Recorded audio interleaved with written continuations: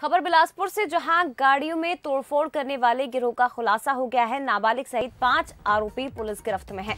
इन आरोपियों के पास से दो कार सहित सामान बरामद किया गया है। आपको जानकारी दे दें कि गाड़ियों की चोरी और तोड़फोड़ ये आरोपी करते थे। सीसीटीवी में घटना कैद हुई थी और इसी के आधार पर पुलिस ने आरोपियों को गिरफ़्तार किया है।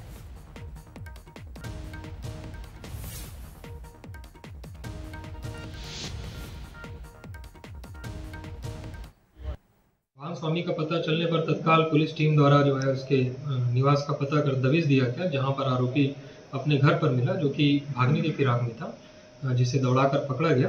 पूछताछ करने पर यह प्रारंभिक तौर पर पुलिस को गुमराह करता रहा किंतु जब बारीकी से पूछताछ किया गया तो इसने जो है अपने अन्य साथियों के साथ अपराध घटित करना स्वीकार किया और बताया कि यह कार में तोड़ फोड़ कर चोरी करने की नीयत से जो है दो कार में सभी घूम रहे थे। पाँच आरोपियों को जो है गिरफ़्तार किया गया है।